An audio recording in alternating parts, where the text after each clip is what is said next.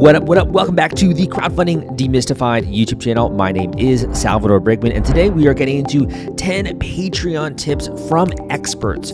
These tips are going to help you set up your Patreon campaign so that way you can earn recurring income using subscription based crowdfunding. So, we're going to be getting into that today. If you have not yet, give me a thumbs up on this video if you like my content. In addition, at the end of this video, I'm going to be sharing a critically important message with you for anyone out there that's trying to turn their passion into profit, that's trying to monetize their creative work. This is going to be an incredible message for you that I'd love for you to stick around and watch towards the end of the video. But that being said, let's dive right in. Let's get right to it. Let's get into some of the tips that these Patreon experts have for you. So basically, you offer people a membership minus $5 a month to subscribe to basically more content than what you would get through your regular social media accounts. So the whole idea of Patreon is to um, create an exclusive experience for like your diehard fans that like are willing to pay an extra $5 a month to dive deeper and see even more what you're about and basically just get perks, etc. So basically it's just a really cool way to get closer to your audience and help you thrive and actually be able to do the work. This is a stream of income that your fans would directly give to you and in return you would give exclusive content to them. I agree with it, but I also say go for it, give it all you got, even if you don't have a following. But I know that building a community around whatever you are good at or whatever you create is definitely beneficial before starting a Patreon account. So make sure that you build a community before you start a Patreon. Think about the benefits that you can offer, but be realistic about it. A way to do this, you can look at other creatives that are doing something similar to you and get ideas from what they are offering their Patreons. But make sure whatever you decide is realistic for you to achieve in a timely manner. Many of your Patreon supporters are aspiring to be just like you, so anything that you can do to show them how you do what you do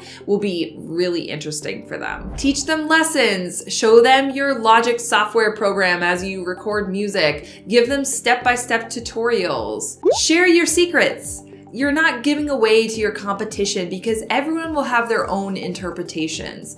There is room out there for every artist, so don't hold your process so close to your chest. You will be making a difference for so many people by showing them where you're at in the process and how you create. Think of yourself as their mentor, as their friend, and help them to be a better version of the artist that they want to be. Help them to be like you. There's two things that we've learned over the years which you've got to bear in mind for everything social media related. The first thing to bear in mind with social media is that your posts need to be as visually engaging as possible. So whether you're using photos to evidence something you're talking about, or whether you're explaining it through a video, you've got to make it visually engaging. The second thing is that, from our experience, generally the best way to communicate with your fans is through a mailing list. We use MailChimp. I'm not being paid to tell you to use MailChimp. I just think it's really good. And a mailing list is really good because it allows you to communicate with both your fans who you found online through Twitter or whatever, but also with your fans who you find in real life at your gigs and stuff. And not everyone actually uses social media. Most people will have an email address, but not everyone's on Twitter or Facebook. So this allows you to combine all of your fans together in one handy list. And then you send out a newsletter when you're launching your Patreon campaign, when you add new rewards, or just when anything interesting happens on Patreon. The final thing I want to say about promoting your Patreon page is that you kind of want to have a fan base already before you start asking people for money. And I know that's disheartening to hear, but you can't just rock up on Patreon and expect people to start paying attention. You've got to already have something that you know through years of work is something people actually want and find useful and therefore are likely to give you money to carry on doing. The next thing you can consider is to give something digitally. You don't need to spend to produce the things and you don't need to spend on postage wherever they are in the world and how many fans, however many they are, you can fulfill the orders within a click. And this is very handy and you are having almost no carbon emission in this case. Totally, I would say if you are digital artists, visual artists, do digital rewards instead, it can be a very interesting thing and it can be even more interesting to your fans depending on what kind of things you offer. I will give you some examples high resolution images, PDFs, time-lapse videos, tutorials, layered PSD files, podcasts, behind the scene videos. It can be really literally anything you can think of. There are some problems though, like if you give a manipulatable project file or template to your fans, maybe they will use it or their friends can have access to it and they can use it in a way that you don't want. So it can be a copyright infringement. So you need to be extra careful who the files you give to and what kind of protections you give on the file. You can have a lock on the PDF, not to have a printing or manipulation. You have to think before just letting any other person access your files. Or it could be a behind the scenes video. Now I've done this a number of times and it gives my Patreons a peek into how I create my videos, what I do, the equipment I use, and more. You know, people want to be recognized and anybody that's paying you, well, if you feature them, if you thank them, they're really gonna appreciate it. So there's five ways to break out tiers. This is if you're building tiers, uh, you this is like what you would think about. And some notes on tiers. I like to offer things for free or very expensive. So I'll write next to free as a caveat here. And this is how I approach all product creation. If I am going to offer an initial tier, uh, the initial tier might be like one to five dollars, and then I might offer like a mid tier of like fifteen to twenty dollars, and then a ghastly high tier of at least a hundred plus dollars a month, because someone will jump on it. And if you look at like Arcadums, and he occasionally has somebody in this tier. Uh, yeah, there's someone here right now. Just a person that's paying $777 to him per month. And it literally just isn't even a tier. And I think we did the same thing with Miko's. Yeah, we did. Um, and it's usually a good idea to have a very high tier that just like people that, that have a lot of money want to support or just really believe in you. And also keeping in mind through the ones that Patreon is such a low platform percentage that it's so significant to have a supporter support at this level because they're taking fees the fees that get taken from you are maybe a little bit less a little bit more than like a paypal say whereas like if you if, let's say that same supporter donated that much in bits on twitch like you lose like 45% of your income or 35% whatever it is before it even hit you so i i, I tend to like this idea of um, support right? And, and you don't have to like, you don't, you don't, you can incentivize um, this. You don't have to like just say like this is a nothing tier. Like thanks for thanks for giving me your money. You, you can. You don't have to. How much money was I making when I first started? How much money am I making now? How did it grow? Let me give you some insight. This is just 100% honest. My income is publicly up on Patreon all the time if you ever want to look. I mean, whatever, this is great info for you. People aren't really secretive about money, but as creators, we need to be more open. You know what I mean? You get it. First month I started in, I'm folding my scroll. First month I started in July of 2017 and my first month I was making $261.53 which was awesome. Like so cool.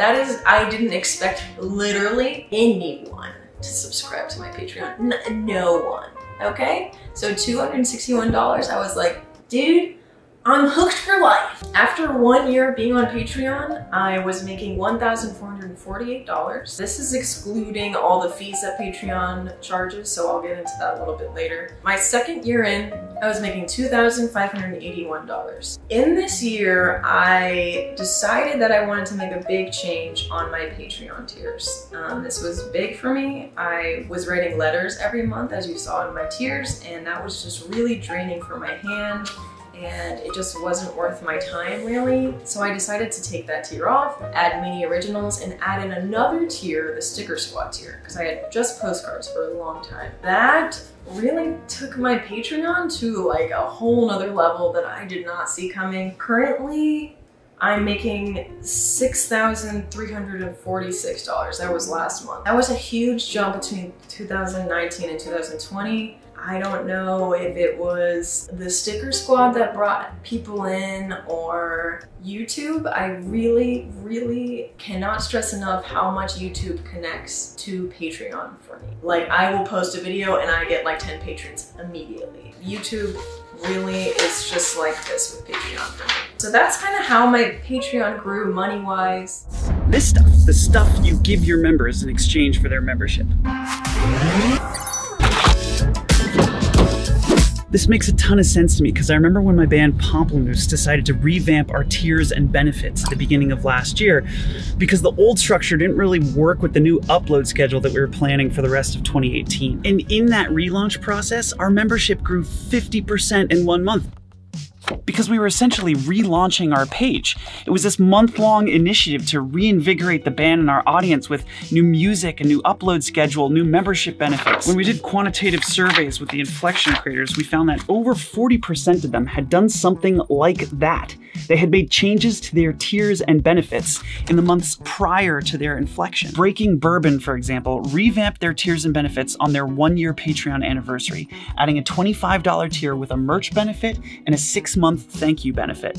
They also created a special offer allowing their patrons to choose the next barrel tasting, and their membership more than doubled in the month following the revamp. Gary and Riva did something similar. He added an exclusive content benefit at $5, lowered the price of the ability to vote on video topics to $3, and then got rid of the early access benefit because it was just too complicated for him to manage.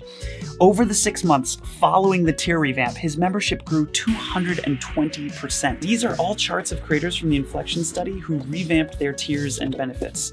I think you get the picture. The takeaway is that revamping your tiers and benefits is the number one correlated behavior with a creator inflecting their earnings on Patreon. But another key insight we learned from the Inflection study is that changing your tiers can be scary a lot of creators feel like they've made this permanent promise to their members with their tiers and benefit structure, and so they don't want to update them. But actually, we found that members are totally down for updates to tiers and benefits because remember, your members are here for you. They want you to be successful. If there's a benefit that isn't working because it's too time consuming or just not enjoyable, tell your patrons. Personally, as a creator, I've found that patrons are super understanding and responsive if you're just honest about what's going on. Now, I had no idea what this meant when I started Patreon. I thought, sounds a bit complicated, I'm just not gonna bother. But it was the best decision I could have made. And even though my Discord server can be quite quiet some days, some days it's so lovely to see people interacting. So Patreon used to have a section on your page, you'd have um, a community tab and it was like a Facebook wall so your patrons could chat to each other and upload things They've removed that now. People that started on Patreon when that was up have still got their community um, tabs on their page, but any new patrons don't have that. So I was a bit confused and I messaged Patreon and said, look, I need somewhere that my patrons can chat to each other or upload images because I do art challenges. And they said, you need to link a Discord server. Now it's really easy to do. Patreon talk you through it, they walk you through it, um, and you can link it. And it just means that your patrons can chat to each other and it's like a message board. It's honestly brilliant. And to build a community, it's such a good idea. So if you haven't linked a Discord server, link it now, make it, it's brilliant.